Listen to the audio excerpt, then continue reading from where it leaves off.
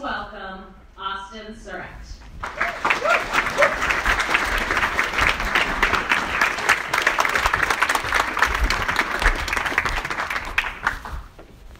you, everybody. this essay is called Welcome to the Family. Samantha and I had met in August 2016, and throughout the month we went from being perfect strangers to absolutely inseparable.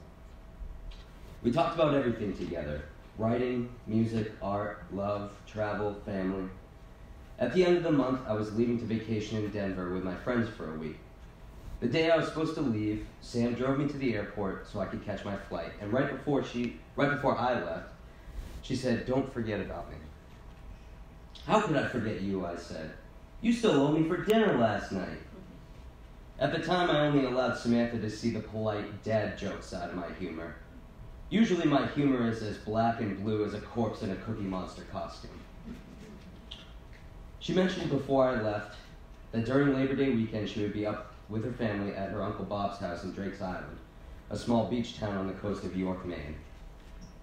She said I was welcome to come up and meet her parents the night I fly back. And I said yes, without a second thought.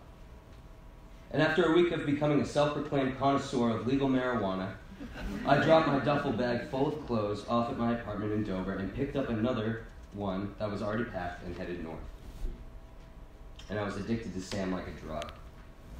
I crossed Salmon Falls into South Berwick and thought about her lovely green eyes like the Irish countryside.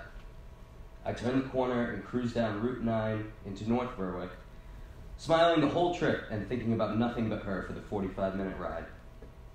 And when I finally found the house, she was waiting on the lawn in an angelic white dress which waved in the Atlantic breeze.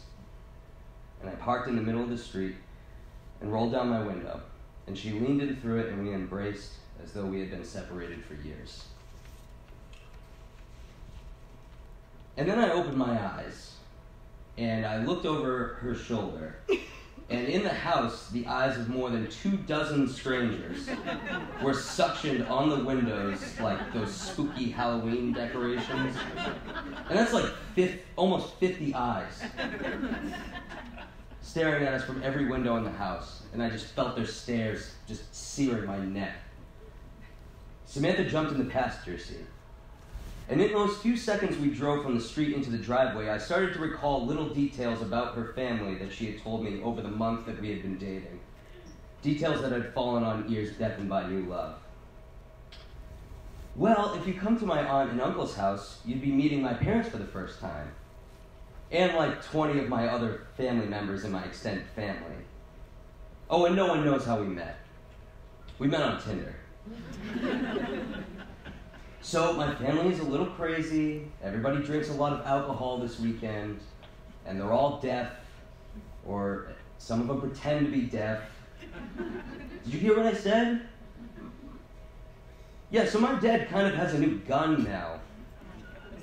My sister was drunk one night and tried to sneak back into my house and scared my parents accidentally, and he felt like our family was unprepared for intrusion.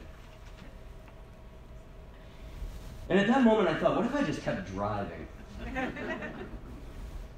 like, I could go back to Dover and kind of pretend I wasn't ready to see her parents and her family. But the problem was is that I was still some stranger from the internet who has a car that locks automatically when in motion. And if all of this went down in front of 20 of her relatives, I would certainly have my Twitter account indefinitely suspended. We pulled into this beautiful seaside mansion and walked across the lush, manicured lawn. As we approached the large glass door on the porch, the pot left over in my system from my vacation tickled my anxieties.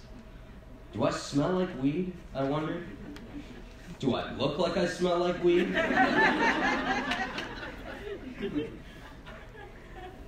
we walked into the mansion to complete silence. The type of silence comparable to pulling a crap pipe out at your nephew's bris. the interior featured an open concept living room and kitchen. Every single seat on every couch, table, and La-Z-Boy was occupied by a person, all glaring in our direction. Even the dog, which had been barking at the sound of someone entering the house, had gone silent presumably waiting on cue for a swift testicle attack. Just before I was about to greet everyone below, a voice came from the back of the room. Good luck, Uncle David! Everybody turned to a stern looking man sitting at the head of the kitchen table.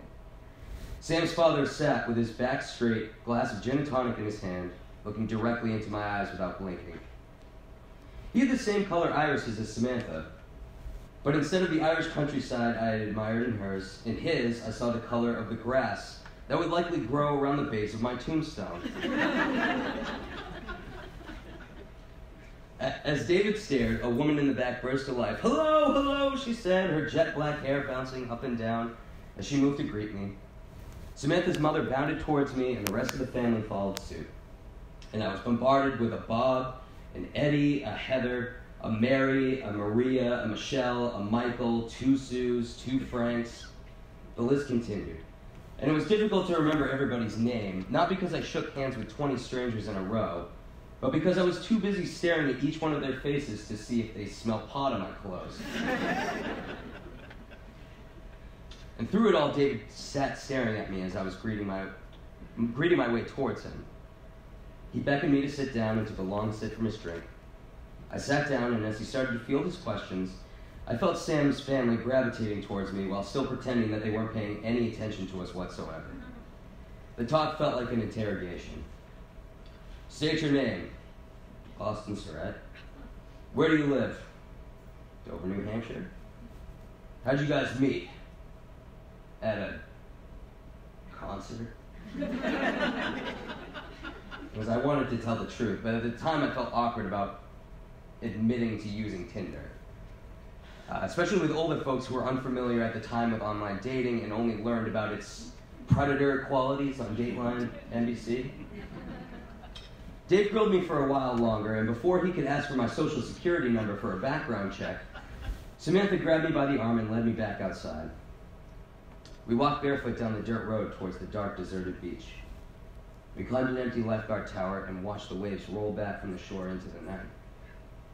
And I let stories of Denver flow with the salted air of Maine's coast, and her eyes twinkled in the moonlight.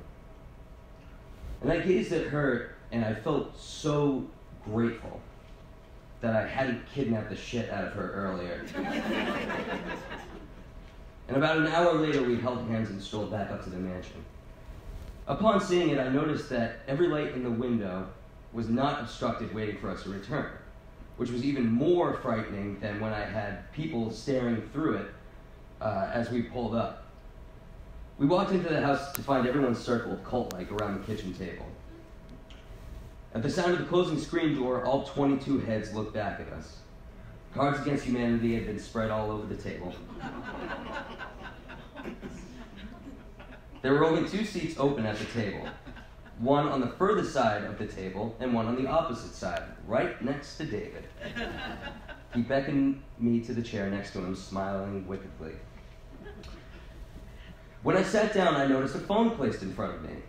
The screen was open, Fearing to look directly down, I glanced down at the glowing screen. That phone had been on a website featuring a grid of menacing black pistols, M&P 45s and revolvers with safeties, thumb locks, and of course, silencers. I panicked. Sweat beaded on the back of my neck. I looked up and everybody was grinning at me, waiting to see what I would do. Oh, whoops, Dave said, snatching his phone back. How the hell did that pop up? You weren't supposed to see that. Everyone at the table erupted into laughter. Dave clapped his hand against my back and smiled reassuringly. And I smiled back and I laughed along with him. Welcome to the family, one of Sam's aunts joked. And the rest of the night was spent drinking, eating, laughing, and telling jokes. Not dad jokes, but humor that was dark and dirty and cracked me up. The next morning, as everyone left, I hugged everyone goodbye, including David, and Samantha and I drove off to Kennebunk to walk around the port. We weren't a quarter of a mile away from the house when I turned to Samantha. You know, what your dad did was about as close to pulling a gun on me as actually pulling a gun out of his pants, I said. She smiled. I told them you had just come back from Colorado, and everybody thought you were going to be high. and two and a half years later, Samantha and I are still together. And in 2019, I'm taking Sam's parents to a very special dinner. And I'm hoping they accept the invitation on their own will. Because you can buy some really nice guns for the cost of an engagement ring. Thank you.